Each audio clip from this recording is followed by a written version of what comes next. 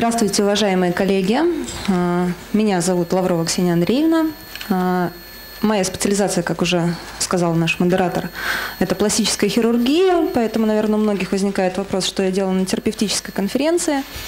А, а я бы здесь хотела поговорить о ранозаживляющих препаратах. То есть в нашу клинику приезжает огромное количество врачей на стажировку. И одни из самых распространенных вопросов – это какие препараты мы используем для заживления ран. Поэтому сегодня я бы хотела с вами поделиться нашим опытом. Из истории вопроса. А, понятно, что как только люди стали сталкиваться с травмами, а, сразу же начались попытки управлять этим процессом. И желание ускорить заживление, он вполне закономерен – на этом слайде представлены а, вещества, а, которые можно найти в литературе, вещества, которые люди применяли для того, чтобы попытаться как-то влиять на скорость заживления ран. Здесь вы можете видеть достаточно экзотические экземпляры, такие как вино, свежее мясо, пиво, навоз. То есть это все то, что описано в различных литературных источниках за разные годы, опыт, накопленный людьми людьми э, в процессах э, заживления ран. Э, на сегодняшний день существует огромное количество препаратов, которые э, многие врачи практически э, в каждой клинике могут использовать. У всех арсенал этих препаратов э, достаточно богатый, у кого-то есть какие-то свои наработки, кто-то использует какие-то народные средства. Но на этом слайде представлены, на мой взгляд, самые распространенные препараты, которые на сегодняшний день могут использоваться и которые вы можете найти в аптеках. А, связи с тем, что октавигин наиболее популярный препарат, мы остановимся на нем чуть более подробно. А, то есть это препарат, который а, в нашей клинике использовался достаточно активно, практически в любом назначении его можно было встретить. Суть его состоит в том, что он по аннотации он ускоряет метаболические процессы и является очень мощным антиоксидантом. А, показания к применению достаточно обширны, а, но в нашем случае, в нашей клинике он назначался а, практически после любых операций, то есть он шел практически вторым пунктом после антибиотика и инфузионной терапии после любых травм, то есть при различных язвах, то есть практически при всех поражениях мы назначали этот препарат. Для того, чтобы понять, как эти препараты могут воздействовать на организм, а, необходимо разобраться в том, а, как происходит заживление раны. Итак, что такое рана? Рана – это нарушение анатомической целостности ткани, которое сопровождается образованием раневого пространства, полости или раневой поверхности. Все раны всегда являются результатом поглощения энергии. Энергия передается телу а, любым повреждающим агентом. То есть это может быть пуля, электроток, скальпель, то есть неважно. А, то есть в любом случае то есть должен быть какой-то агент. И степень тяжести повреждения зависит от силы источника энергии и спецификации ткани. То есть понятно, что если вы попробуете скальпелем, там, допустим, повредить кость, то э, сила, с которой вы воздействуете на кость, она должна быть значимой. Ну, вот я нашла данные, что это должно быть 64 килограмма на э, квадратный сантиметр. Итак, какие же фазы раневого процесса существуют? То есть первая стадия – это гемостаз и воспаление. В некоторых литературных источниках эти фазы могут по-разному называться, и где-то написано, что это три фазы, объединяя гемостаз и воспаление, где-то идет четыре фазы гемостаз выделяя отдельным пунктом. Ну, по большому счету это не столь важно. Значит, гемостаз воспаления объединяет процессы альтерации, эксудации, некролиза, то есть очищения раны от некротических тканей. Процессы пролиферации э, – это образование и созревание грануляционной ткани, и фаза заживления, формирование рубцовой ткани и эпитализация раны. Заживление проходит эти стадии всегда, независимо от того, как было получено повреждение. То есть сбила собаку машиной, э, порезали вы ее во время операции скальпелем, то есть или ну, там, ее покусала другая собака. Неважно. То есть э, эти стадии э, проходят всегда друг за другом, то есть они могут замедляться, если они осложняются какими-то внешними факторами. А, итак, заживление ран всегда начинается практически сразу после повреждения кожи. Первоначально образуются сгустки крови, которые герметизируют рану, а также являются каркасом для миграции клеток. Фаза заживления начинается примерно через 6 часов после травмы. То есть белые клетки крови мигрируют в рану, чтобы начать санацию. Также освобождаются цитокины, факторы роста, другие химические вещества, которые могут стимулировать восстановление тканей. Герметизация раны сгустком происходит всегда. И по сути она является некоторой матрицей, в которой э, в дальнейшем клетки будут мигрировать. То есть понятно, что клетки по воздуху летать не могут. И если к вам пришел пациент, либо, допустим, травма была получена достаточно асептических условиях, либо э, вы видите, что кровяной сгусток не очень большой, попытка убрать его может лишь удлинить время заживления. Понятно, что если у нас э, гематома или сгусток достаточно обширный, достаточно объемный, э, в дальнейшем это может привести к бактериальному обсеменению и к абсцедированию. Поэтому в любом случае вам необходимо на это э, обращать внимание. Если сгусток небольшой, не убирайте его, потому что вы просто удлините процесс. Клетки, которые попадают в этот кровяной сгусток, они, безусловно, попадают из поврежденных сосудов. То есть там могут присутствовать и фибриновые нити и нейтрофилы. В большом количестве присутствуют, безусловно, эритроциты, также а, клетки эндотелия сосудов, которые попали туда через, опять-таки, поврежденные сосуды. А, очень важную роль в заживлении являются, играют цитокины. Цитокины – это небольшие пептидные, пептидные информационные молекулы, которые взаимодействуют между клетками. То есть э, от клетки, допустим, А идет сигнал клетки Б, чтобы запускать какие-то очередные процессы. Э, основными продуцентами цитокинов являются лимфоциты. Э, кроме лимфоцитов, их также могут секретировать в достаточно большом объеме макрофаги, гранулоциты, ретикулярные фибробласты, эндотелиальные клетки. Цитокины активны даже в очень низких концентрациях. На сегодняшний день их насчитывается а, больше сотни. На этом слайде представлены лишь наиболее изученные из них, то есть те, которые а, а, скажем так, даже синтезированные и в экспериментальной медицине могут участвовать даже в каких-то в лечении каких-то болезней. Ну, понятно, что ветеринария пока мы еще далеки от этого. После первичной вазоконстрикции всегда происходит активная вазодилатация. Изменение микрососудистой проницаемости нарастает в первые 48-72 часа, способствуя поддержанию воспалительной фазы. Клеточный ответ в воспалительной фазе слегка отстает от сосудистых изменений, и, соответственно, очень важно уйти из этой стадии как можно быстрее. А, на этом слайде вы видите, что эритроцитов в кровяном сгустке стало гораздо меньше, что а, у нас а, эндотелий сосудов начинает потихонечку прорастать в наш кровяной сгусток. Фибриновые нити, сплетаясь, образуют более мощные волокна, то есть появляются также фибробласты. И эндотелиальные клетки, они движутся навстречу друг другу. Клетки эндотелия имеют такое свойство, они делятся до тех пор, пока они не встретятся с клетками эндотелия с противоположной стороны.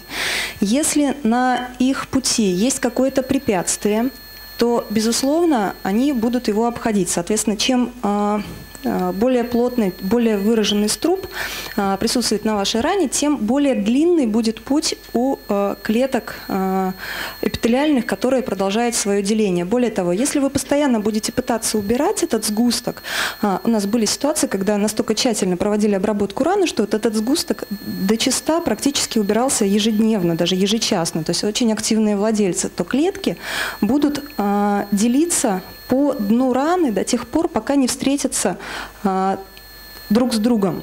И только после этого а, цитокин, который отвечает за то, что нужно прекращать а, рост а, эпителиальных клеток, ну, даст команду клеткам прекратить делиться. А, соответственно, далее хотелось бы поговорить о макрофагах. Значит, это один из самых важных компонентов клеточного ответа в воспалительной фазе.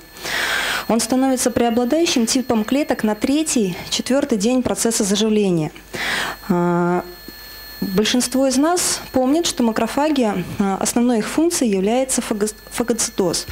Но на самом деле одной из также очень важных функций является продукция цитокинов – Ну, так выглядит макрофаг. Это видео не совсем относится к нашей лекции. На мой взгляд, оно достаточно интересное. Сейчас оно попробует запуститься. Это макрофаг, который гонится за бактерией. И рано или поздно он, безусловно, ее настигнет. А, поэтому в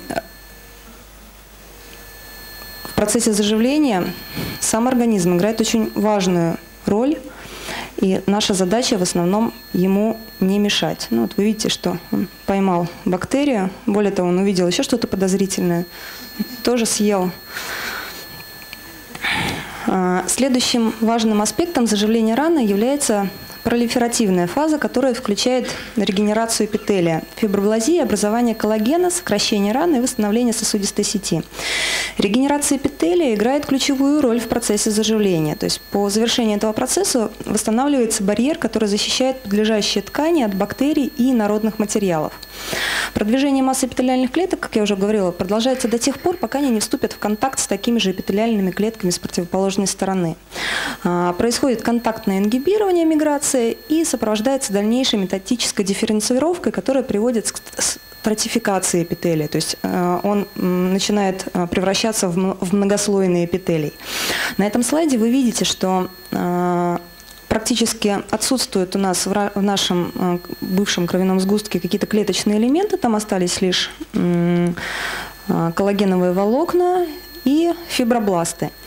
Также вы видите, что у нас происходит прорастание кровеносных сосудов и образование новых кровеносных сосудов. Новые кровеносные сосуды обычно образуются следующим образом, то есть происходит незначительное расслоение сгустка, образуются так называемые тоннели, а, и клетки эндотелиальные, которые присутствовали а, в кровяном сгустке, начинают мигрировать к этим тоннелям, выстилая их, образуя новые сосуды. А, куда им двигаться и как делиться и что делать, безусловно, то есть э, регулируют э, цитокины, про которые мы говорили с вами ранее. А, влажная поверхность раны улучшает ее нормальное заживление, наоборот, высушивание раны существенно нарушает процессы заживления. Когда формируется корка или струп, подлежащая дерма высыхает и частично некротизируется. Соответственно, а, эпидермальные клетки мигрируют медленнее и менее эффективно, что задерживает эпитализацию. В закрытых влажных ранах миграция направленная и беспрепятственная, что обеспечивает более быстрое заживление. Поэтому э, многие наверняка сталкивались с таким понятием, как дать ране подышать проводились исследования, которые говорят о том, что а, под повязкой рана заживляет, заживает гораздо более эффективно. А, то есть связано это с тем, что не происходит высушивание поверхности. И путь, которым нужно пройти а, эпителиальным клеткам, они, он намного короче. Соответственно, энергии на это затрачивается гораздо меньше. Понятно, что мы говорим о некой идеальной повязке, что если вы там будете перетягивать лапы, там у вас будут прилипать какие-то салфетки, вы их будете постоянно отдирать, то, безусловно, это все может привести к тому, что, э, наоборот, э, рана будет заживать гораздо дольше. Э, это очень поверхностное объяснение всех процессов, которые происходят в момент заживления раны, но тем не менее, когда нет понимания того, что происходит в ране, на каком стадии находится раневой процесс, а, врачи, то есть происходит вот такой вот шмяк ранозаживляющими мазями. То есть просто без какого-либо понимания. А, это довольно прискорбно, потому что может приводить к достаточно серьезным осложнениям. А, итак, это препараты, с которыми мы сталкивались с вами на одних из первых слайдов. А, у каждого из них есть какие-то положительные и какие-то побочные действия, ну, вот, кроме травматина, но это вообще очень спорный, собственно, препарат, если можно назвать препаратом. А, этот слайд я поместила для того, чтобы показать вам, ни один из этих препаратов не прошел ни одного клинического исследования. А, ни один из ранозаживляющих препаратов, я их специально ищу каждый раз, но а, ни один из них не прошел а, двойного слепого плацебо-контролируемого исследования. То есть нет ни одного литературного источника, не считая инструкции, либо справочников по лекарственным препаратам, который бы говорил о том, что эти препараты можно назначать. Соответственно, действие их как препаратов, которые стимулируют заживление, оно весьма сомнительное. И поэтому у нас остается, что, но при этом побочные действия, они всегда реальные. Поэтому получается, что помогает или не помогает, неизвестно, а вот то, что у них есть побочные действия, это, по сути, скажем так, доказано. Что же делать, если мы не можем ускорить заживление? Что же сделать, чтобы наша рана заживала быстро и качественно? Нам необходимо создать оптимальные условия для заживления раны. Это отсутствие дополнительного травматизма, то есть использование современного перевязочного материала. То есть нельзя взять, наложить на рану какую-то марлевую салфетку, при последующем там отмачивать ее там физраствором, хлоргексидином, перекисью или еще там чем-то. А, это всегда будет приводить к дополнительной травматизации тканей. А, должна быть обеспечена быстрая эвакуация некротических тканей раневого эксудата, то есть для этого должны опять-таки использоваться либо специализированные перевязочные материалы, либо проводиться качественная обработка раны, об этом мы говорим, поговорим на следующей будет презентация. И а, борьба с бактериями, то есть если мы находимся в воспалительной фазе, и также влажная среда, это мы с вами только что обсудили. А, на основании чего же назначают ранозаживляющие средства? в основном на основании инструкции. То есть э, не одних каких-то более-менее значимых, либо, скажем так, достоверных литературных источников, где бы было написано, что нужно назначать там октавигин, э, там травматин, ибермин, неважно, а я, к сожалению, не нашла. Ну, если у кого-то есть, может быть, вы со мной поделитесь. Значит, почему назначают ранозаживляющие средства? То есть, безусловно, есть же какой-то стимул врача эти э, препараты назначить. На мой взгляд, э, первым является просто по инерции, потому что, работая в клинике, до этого всегда его назначали, собственно, и мы назначаем, вдруг будет хуже. Вдруг я не назначу, станет хуже, скажу, что я плохой доктор. Значит, второе – это пожелание владельцев. То есть, на мой взгляд, это один из самых важных э, пунктов, потому что владельцы всегда хотят для своего питомца сделать как можно лучше, они просто вымаливают у вас какую-нибудь супер таблетку, супер витаминку для того, чтобы сделать ну еще лучше. А, и а, личный опыт – это самый а, злой враг, скажем так, прогресса, потому что когда появляются какие-то новые данные, очень сложно убедить даже самого себя о том, что этот препарат, допустим, неэффективен, потому что мы его применяли. То есть в нашей клинике актовигин применялся постоянно после практически любой операции. Отказаться от него было очень страшно, потому что непонятно было, вдруг станет хуже, потому что мы просто отказались от этого препарата. А, раневая контракция очень важная а, и очень а, особенная скажем так, механизм, который всегда происходит в ране. И очень часто действие этого механизма а, незаслуженно приписывается действию каких-либо препаратов. На самом деле раневая контракция происходит в любой ране всегда, независимо от нашего того участия. Что же это такое? Уникальная особенность заживления раны, то есть это феномен раневой контракции. Раневая контракция начинается примерно с конца первой недели после ранения. В это время часть раневых фибробластов трансформируются специализированные клетки, которые называются миофибробласты. К ним присоединяется э, альфа-гладкомышечный актин, после чего они становятся, ну, по сути, клетками, похожими на гладкомышечную э, мускулатуру, которые способны к сокращению.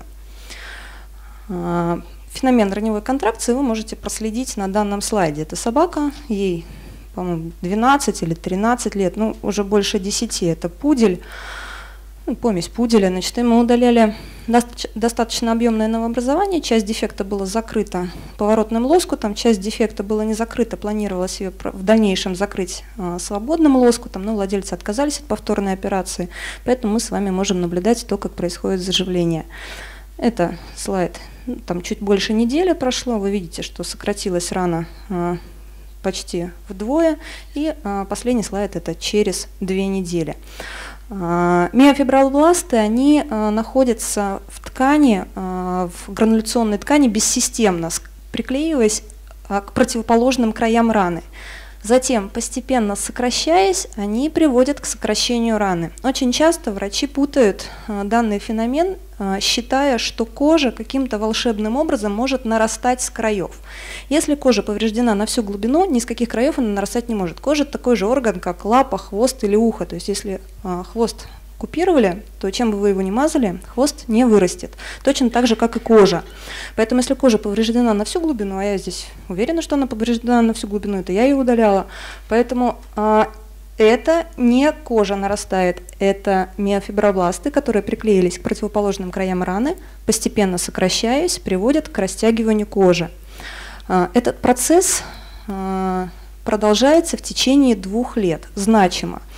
А, безусловно, если он находится где-то там в области шеи либо бока, то это не имеет никакого значения, лишь сокращает ваш дефект. А, с этим довольно часто приходится бороться, если такие обширные поражения у нас находятся в области суставов, потому что это может приводить к достаточно серьезным контрактурам, либо если такие поражения у нас находятся в области полых органов, ну, наверняка многие из вас сталкивались, стеноза уретра, стеноза пищевода после каких-то длительных нахождений там инородных тел.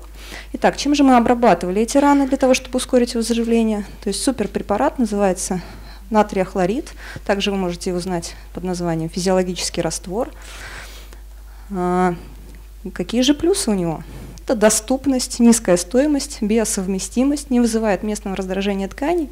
И, на мой взгляд, одним из важных, очень важных пунктов является то, что это препарат, который описан в различных литературных источниках.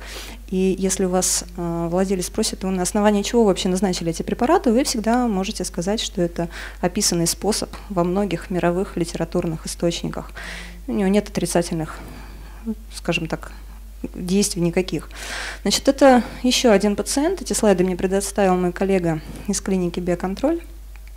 А, здесь вы также можете видеть огромное поражение в области спины.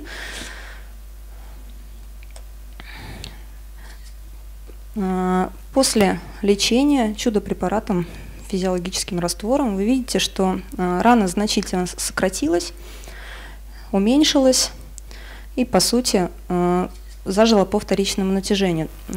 Этот слайд а, я вставила для того, чтобы еще раз подтвердить, что кожа никуда не нарастает, что а, рубец лишь просто сокращает и растягивает края кожи. А, этот рубец сильно смущал владельцев, поэтому дальше он лечился хирургическим способом. Вы видите, что выкрой производился по краю э, этой, э, этого рубца, то есть никакого захвата здоровой ткани здесь не было.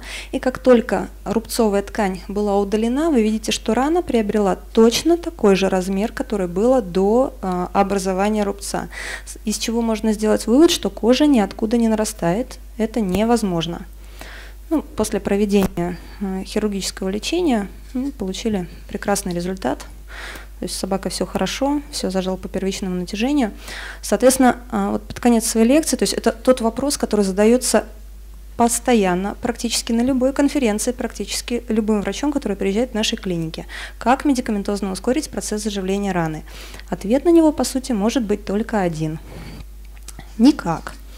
А, многие врачи говорят, что ну какая разница, ну хорошо, не ускорить заживление. Я всегда акцентирую на том, что мы можем не замедлить его. То есть мы, а, понимая, а, в каком стадии находится раневой процесс, мы можем а, уйти, допустим, на стадии воспаления быстрее, то есть не, не дать, там, допустим, каким-то внешним факторам замедлить этот процесс.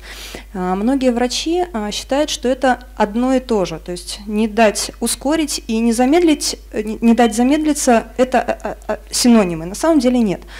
Когда в голове у врача либо у владельца зарождается мысль о том, что этот процесс можно ускорить, они начинают искать средства, лекарства, то есть какие-то препараты для того, чтобы этот процесс простимулировать.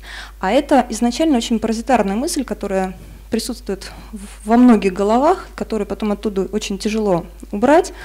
То есть невозможно стимулировать заживление. То есть мы можем лишь а, создавать оптимальные условия для заживления раны, она и без нашей помощи заживает достаточно быстро. А, следующая а, лекция, то есть по сути у нас одна лекция, которая состоит из двух частей. Значит, а, будет сейчас рассказывать моя коллега Айбуль Элла Ледиковна, это второй хирург, мы работаем с ней вместе, о том, как же создать оптимальные условия для того, чтобы рана заживала. Спасибо.